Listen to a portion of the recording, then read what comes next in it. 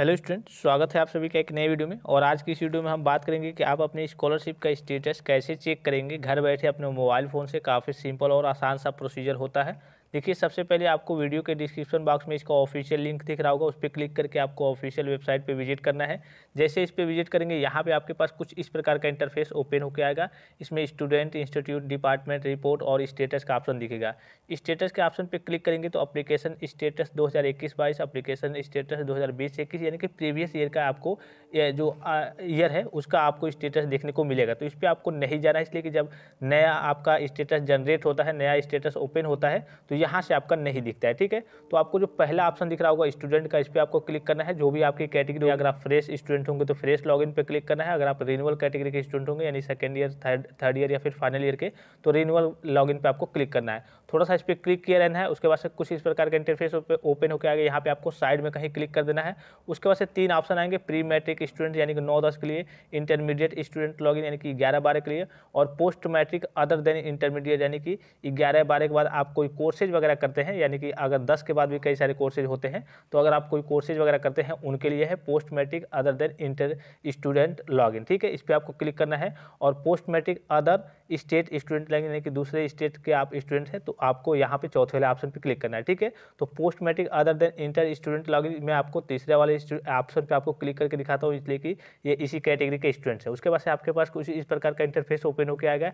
यहाँ से आपको, आपसे आपका registration number date of birth और पासवर्ड आपसे मांगा जाएगा, उसके बाद से कैप्चा कोड अगर आपको पासवर्ड याद नहीं है, हो सकता है आपने साइबर कैफ़े से कराया होगा रजिस्ट्रेशन वगैरह तो आपको क्या करना है, यहाँ पे आपको फॉरवर्ड पासवर्ड पे क्लिक करना है। जैसे इस पर क्लिक करेंगे तो आपसे कुछ बेसिक से डिटेल्स मांगे जाएँगे, जैसे कि हाई स्कूल का रोल नंबर और जो आपको इसका प्रिंट आउट का कॉपी मिला होगा, आपने साइबर कैफ़े से लिया भी होगा तो उसका आपको रजिस्ट्रेशन नंबर आपको पता ही होगा, ठीक है? तो उसको फिलअप कर लेना है और आपको फॉरगेट पासवर्ड कर देना है, एक नया पासवर्ड जनरेट होकर आ जाएगा, उसको स्क्रीन के रूप में आपको सेव कर लेना है, ठीक है? तो यहाँ से फॉरगेट भी कर सकते हैं, अगर आपको पासवर्ड नहीं मालूम है तो अदरवाइज़ मालूम है तो अच्छी बात है। ठीक है, नहीं मालूम है तो कोई समस्या नहीं है, ये नहीं कि बहुत लंबा प्रोसीजर होता है, बस आप क्लिक करेंगे, कुछ बेसिक से डिटेल्स मांगे जाएँगे, आपका पासवर्ड आ जाएगा। तो ठीक है तो सारी चीज़ों को मैं फिलअप करके फिर सबमिट पर क्लिक करके आगे की ओर प्रोसीड करता हूँ। अब देखिए फाइनली सारी चीज़ों को फिलअप कर लिया गया है, यहाँ पे आपको सबमिट का ऑप्शन दिख रहा होगा, इस पर आपको क्लिक करना है। जैसे इस पर क्लिक करेंगे, कुछ इस प्रकार का इंटरफेस ओपन होकर आएगा यहाँ पे आपको नीचे की ओर स्लाइड करना है। कुछ चीज़ें आपको ब्लर दिख रही होंगी सिक्योरिटी रीजन के लिए। यहाँ पे आपको दिख रहा होगा फॉर्म अग्रसारण करने के समय शिक्षा संस्थान द्वारा भरा गया भी उसके बाद से यहाँ पे आपको पैरेलल थ्री लाइन दिख रही होंगी, इस पर आपको क्लिक करना है। जैसे इस पर क्लिक करेंगे, आपको नीचे की ओर स्लाइड करना है। ठीक है तो मैं थोड़ा सा फ़ोन को रोटेट कर रहा हूँ। अगर आप लैपटॉप में ओपन कर रहे होंगे तो स्मूथली वर्क करेगा। यहाँ देखिए चेक करेंट स्टेटस का ऑप्शन दिख रहा होगा, इस पर आपको क्लिक कर देना है। ठीक है? जैसे इस पर क्लिक करेंगे, आपके पास कुछ इस प्रकार का फॉर्म जनरेट होकर यानी कि जो आपका इस बार का स्टेटस है, वो ओपन होकर आ जाएगा। यहाँ पे आप देख सकते हैं, छाप तारीख आठ बारह दो ठीक है?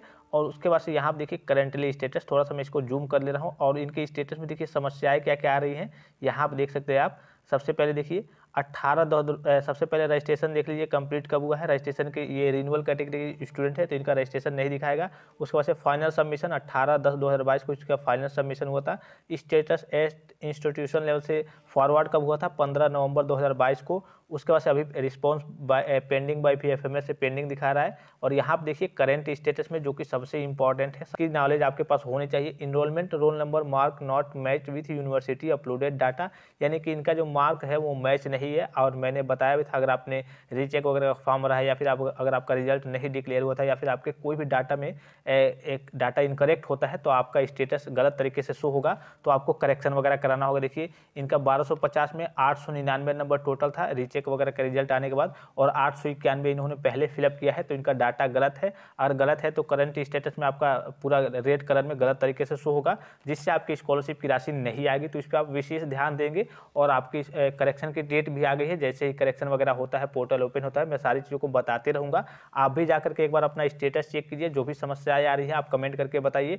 अदरवाइज़ टेलीग्राम पर बने रहेंगे। हो सकता है कभी कभी आपके पास नोटिफिकेशन नहीं जाता है तो हो सकता है आप इन्फॉर्मेशन से वंचित रह जाए, चूँकि ये पैसे का मामला है, आपकी स्कॉलरशिप की राशि का मामला है तो इसमें आप थोड़ी सी भी आलस नहीं बरतेंगे। हो सके कि आपके आलस के चक्कर में आपका पूरा पैसा डूब जाए, जो भी पाँच हज़ार, दस हज़ार, दो हज़ार, बीस हज़ार, इसी के हर कोर्सेज के अलग अलग पैसे आते हैं। बहुत ज़्यादा स्कॉलरशिप की राशि किसी की आती है, किसी की कम आती है तो आप एक्टिव रहेंगे, सारी चीज़ों को देखते रहेंगे और अटेंडेंस जो है आपका यहाँ पे 75 परसेंटेज से प्लस होना चाहिए। अगर 75 परसेंटेज से नीचे है, तब भी आपकी स्कॉलरशिप की राशि नहीं आएगी। अदरवाइज़ यहाँ पे आपका पास भी रहना चाहिए रिज़ल्ट दो हज़ार में, यानी कि प्रीवियस ईयर के रिज़ल्ट में आपका पास रहना चाहिए। अगर आप फेल हैं तो भी आपकी स्कॉलरशिप की राशि नहीं आएगी आई होप कि वीडियो आप सभी को इन्फॉर्मेटिव लगा होगा। आप कमेंट करके बताइए कि आपके स्टेटस में क्या शो हो रहा है।